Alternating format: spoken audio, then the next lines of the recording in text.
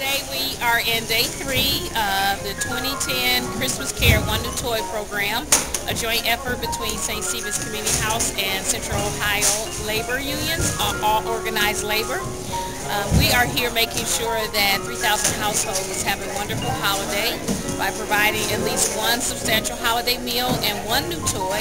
Organized labor has been involved in this One New Toy program with St. Stephen's since 1982. And every union that's part of the Central Ohio Labor Council uh, contributes either volunteers or volunteers and money to make this uh, program a success. We in uh, organized labor spent over $30,000 just on toys alone.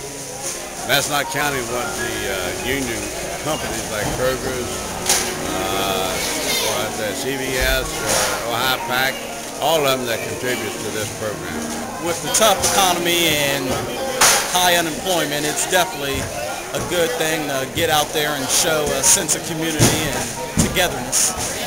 I'm out here today to try to feed as many people that needs help as possible. Right. And how long have you been volunteering? Since 1990. And what, what brings you back every year? What, what is every it? Every year? Um, watching the other volunteers, the kids that are out here that want to help people who are in need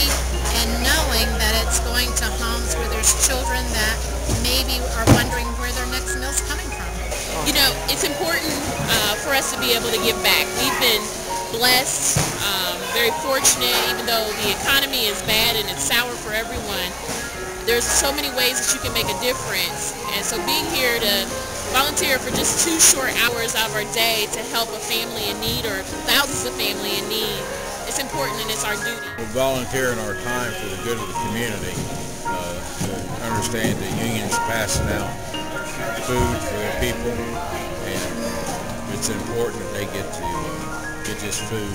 We try to keep it organized and run smoothly. It's important to, to let the community know that labor does care about the community and we, we do give back.